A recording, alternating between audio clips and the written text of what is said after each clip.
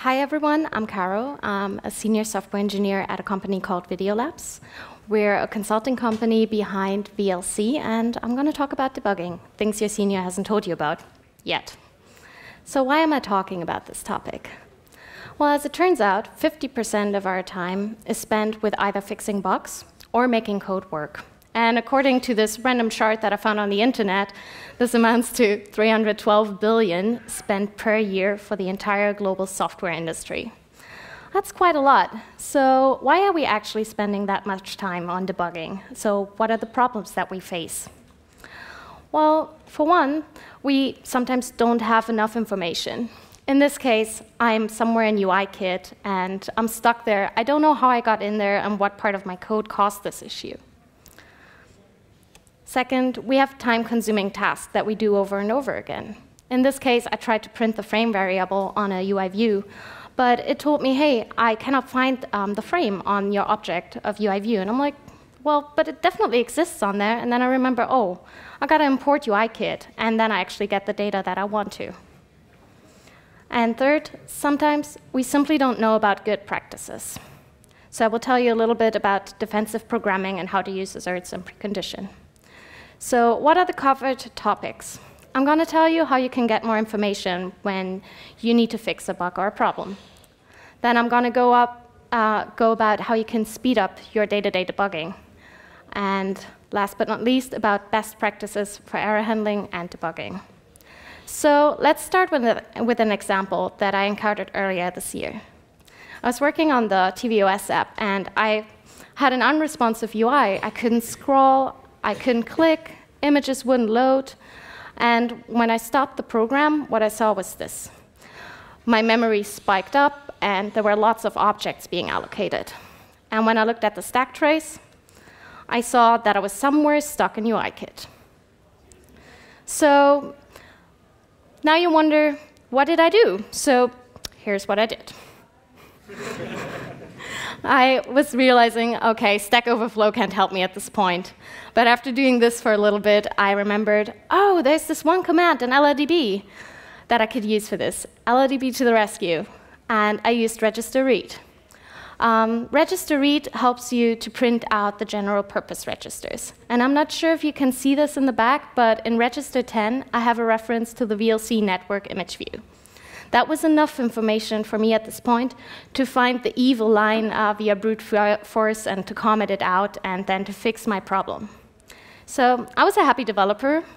My program worked. But just about a month ago, I found out that there's another way. Tyler Fox was actually tweeting about this wonderful, underappreciated uh, debugging tool in UIKit, which is the layout feedback loop debugger. The layout feedback loop debugger is a launch argument. And for those of you who don't know uh, what a launch argument is, I'm going to show you how you can actually enable them. So when you go on Edit Your Scheme, there is a tab called Arguments. And there you can edit um, a number of launch arguments. And underneath it, there are also environment variables that you can add. Apple has been so nice to give you already a couple of them in the Options tab. Like um, the non-localized strings, for example, is a launch argument, um, as well as the system language and the application region. If you enable, for example, the non-localized strings, you will see in caps lock in your app where you didn't localize a string.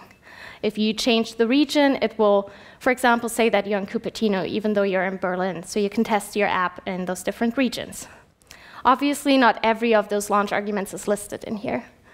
Um, under the diagnostic tab, you find a couple of the environment variables. So you can enable, for example, malloc scribble, which will tell you what kind of objects are um, allocated, and so many more. So um, let's go over a couple of the launch arguments that uh, you can also have. Um, I'm going to talk about the UI view layout debugger, um, the concurrency debug for core data, um, migration debug and SQL debug, and NSTrace events. So first up, the layout feedback loop debugger. So this is a launch argument um, that where you can set a threshold. And the threshold can be a value between 50 and 1,000. And it counts the number of views that um, run layout subviews. Once you hit that value, it will hit an exception and it will dump info into a log. And if you don't like to look at logs, you can just stop there and then you can print the layout feedback loop debugger on the UI view layout feed loop debugger. um, if, I know this is a lot, and um, if you want to actually learn more about this, there's this great talk from 2016, What's New in Auto Layout, by Marianne Goldin, and she's talking 50 minutes about how you can actually analyze those logs, what you need to look for, and it's an incredible, great talk. Okay, but this is great for auto layout issues and um, about UI debugging. But what about, for example, core data? It's widely used, but it's not always easy to debug when things go wrong. So here's a launch argument that will help you with concurrency. If you turn um, concurrency debug on, uh, you will see in LLDB a little message that lets you know, hey, core data multi-threading assertions are enabled. And when you use your app, this will crash or it will stop when you try to access an object um, context or manage object from the wrong um, dispatch queue. A little fun fact about this, uh, Apple decided with iOS 6, oh, it might be a great idea to turn this on by default. Well, a lot of apps started to crash, and Apple soon decided, ah, maybe this wasn't the greatest idea. So yeah, if you run into this, you will see this wonderful, all that is left to us is honor. and if you want to learn a little bit more about how you can resolve these issues and why they are happening, there's a great blog post by Ole Begemann from 2014 um, that will tell you how you can resolve these. Okay, um, the next one is um, migration debug and SQL debug. So if you turn on migration debug and you're doing a core data migration, this will log um, information about exceptional cases when it migrates data. You will get hash values, and you can then look at them. If you have, there's a program where you can actually see the objects in your database. Um, and the next one, SQL debug. You might wonder why there is a 3. Um, all the other launch arguments you normally toggle on and off, in this case, this is a value that determines the verbosity of the logs. So 3 is the highest value, and it will give you a lot of logs, and you can see what is actually happening under the hood. You see all the SQL statements, and yeah, see what actually is being done. And something that I found out while I was researching this topic was you can actually also pass in launch arguments at runtime. So in this case, I was um, passing it into the text edit and uh, I turned on NS trace events. And when I was hovering the mouse over the text editor, it would print all of the events that it was receiving. And that was super interesting for me to see. I didn't know about this, actually, before I was preparing this talk. So there are lots of hidden launch arguments and environment variables, and these are just some examples. If you want to find out more about them and how you can, for example, visualize constraints or log more info about objects, um, I would definitely recommend those two um, tech notes by Apple. One is the iOS debugging one, and the other one is the macOS debugging Magic Talk. And um, there are also tools listed, and it's, it's an old document, but there's still so much valuable information in there. Okay, so this is great if you have a certain bug or problem that you need more information about. But what if you just try to make things work and need to inspect objects? So let's go over some typical time-consuming tasks and how you can save time here. So first up, I'd like to show you an easier way how you can inspect private properties without having to subclass. With Swift 4, uh, we introduced key paths, and you can easily use that um, to observe changes. In this case, um, I observe the background color, and I can log the changes of the old value and the new value. And not before I was just subclassing it. I would replace everywhere the type of the class, and I would overwrite, for example, set frame. And then when I needed to, when I found out what was going wrong, I had to revert all of this. So this is an easier and faster way to do this. Um, next up, the property that was not found on your application. Uh, a short raise of hands, who has ever encountered this issue? Okay, everybody. So I'm not sure if everybody knows when that actually happens. Um, we have two contexts when we're debugging. One is the Objective-C one, and the other one is the Swift one. Objective-C is actually chosen by default. So what we have to do is we have to actually tell it, hey, uh, the object that I'm handing you, uh, that's actually a Swift object. So this was something that I was doing when I was starting with Swift. And that's obviously not the easiest way, and it's very tedious if you have to do this all the time. So then I found out, oh, you can just import UIKit, our foundation, and then I don't need to do this anymore. This also, by the way, removes the need to um, cast structs in a lot of places. But that's also really tedious. So the next step that you can take is you can create a breakpoint on your application main. And you just add a debugger command to import UIKit and import foundation. You check um, the checkbox that it should automatically continue after evaluation.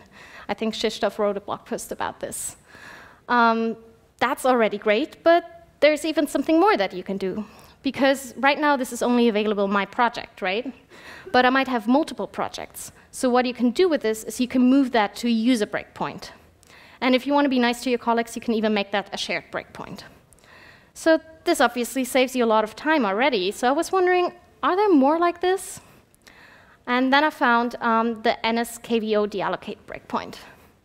So this will break in places where you still have observers around and should have removed them. You know, sometimes you will crash later on when a message is being sent to um, this object, but this will actually alert you early on that you should have now removed that observer. And next one up is you can actually edit your exception breakpoint to print out argument one. You wonder, what is argument one? Well, that's actually the exception. And before I always had to press continue, continue, continue until finally it would show up in my logs. This will immediately print this. So these were just three examples of useful um, user breakpoints. And um, if you want to learn more about this, PSPDFKit uh, had a great blog post about this, where they have so many more user breakpoints, and they've added to it um, over the over the last months. And they also link to an article um, that will teach you how you can script breakpoints, which can be very interesting. So this is great. These breakpoints save us time while we're making things work. And the KVO breakpoint alerts us about a bad state early on. But we sometimes know already about cases um, where we entered a bad state. And how can we make life for our fellow programmers easier in this case? So let's talk about good practices for error handling and how we can save time here.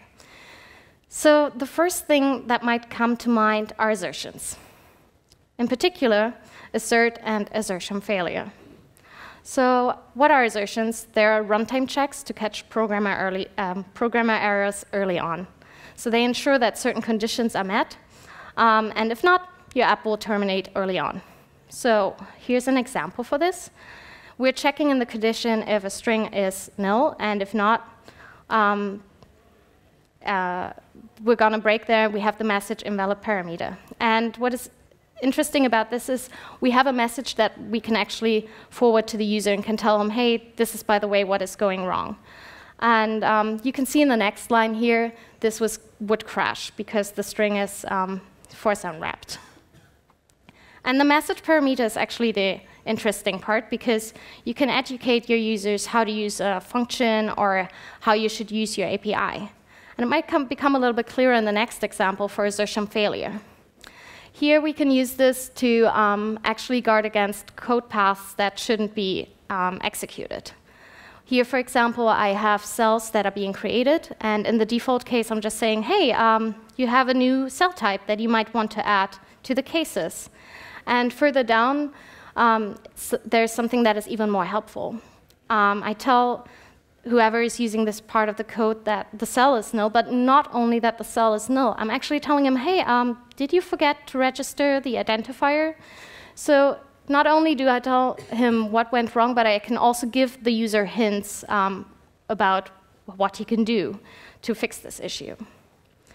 Um, something to note about assertions is that they're only turned on in debug mode. So what determines actually um, if we're in debug mode?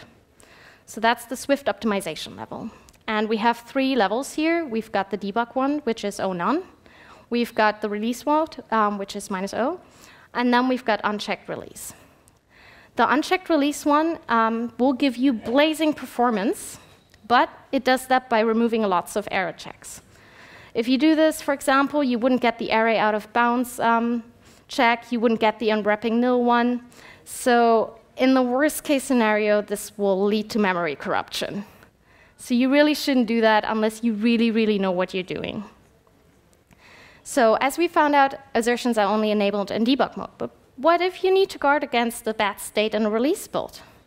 So for this, we've got precondition and fatal error. So this is for condition where it would be too dangerous to continue because you might, for example, corrupt data. Precondition and fatal error um, precondition failure and fatal error are, by the way, also enabled in the unchecked releases. So let's look at an example from the Swift library. Here we've got the repeated value function, and this lets you create a collection with the same value repeatedly, and that depends on the count.